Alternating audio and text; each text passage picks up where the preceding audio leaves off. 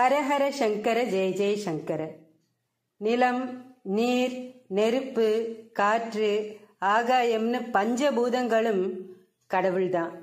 அதுல நெருப்போட ஒளி வடிவம் புற இருளை மட்டும் இல்லாம அஞ்ஞானம்னு சொல்லக்கூடிய அக இருளையும் போக்கி ஞானத்தை கொடுக்கும். தீபத்தோட ஒளியில சரஸ்வதியும் சுடர்ல மகாலட்சுமியும் அந்த வெப்பத்துல பார்வதி தேவியும் வாசம் பண்றதா ஐதீகம். அதனால வீடுகளில் கார்த்தால சூரியோதயத்துக்கு முன்னாடியும் சாயங்காலம் சூரியன் மறையறதுக்குள்ளேயும் விளக்கேத்தணும். சூரியன் உதயமாகிற நேரத்துல தூங்கக்கூடாது. அப்படி தூங்கினா இந்திரன் மாதிரி செல்வ செழிப்போட இருக்கிறவாளா இருந்தாலும் அவளை விட்டு மகாலட்சுமி போயிடுவா.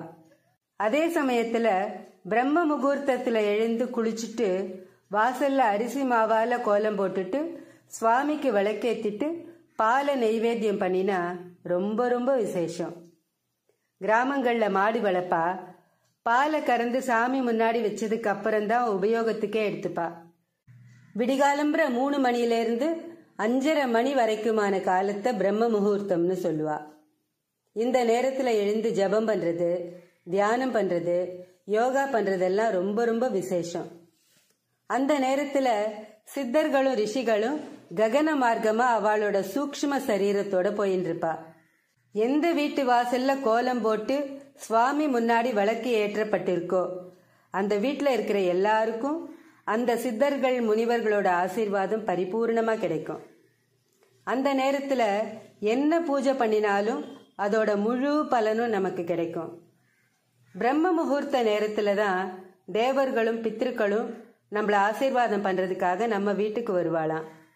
அதனால அந்த நேரத்துல தூங்கிட்டு இருக்கக்கூடாது அது மட்டும் இல்லாம தினமும் கார்த்தால பிரம்ம முகூர்த்த நேரத்துல எழுந்து குளிச்சு திருநீர் இட்டுண்டு சாமி முன்னாடி நின்று வேண்டிண்டா மகாலட்சுமி கடாட்சம் கிடைக்கும். அந்த நேரத்துல சிவமந்திரம் சொல்லலாம். அப்படி சொல்ல சொல்ல உள்ளுக்குள்ளேயும் வீட்டுக்குள்ளேயும் நல்ல அதிர்வுகள் பரவும். அதனால நேர்மறையான சிந்தனைகள் தோன்றும். வீட்டில் இருந்த கஷ்ட நிலைமை மாறும். கடன் தொல்லையெல்லாம் தீரும். கணவன் மனைவிக்கு இடையே ஒற்றுமை மேலோங்கும்.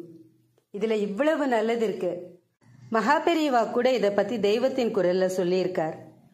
அதனால எப்படியாவது கார்த்தால நாலு மணிக்கு எழுந்திருக்க முயற்சி பண்ணுவோம்.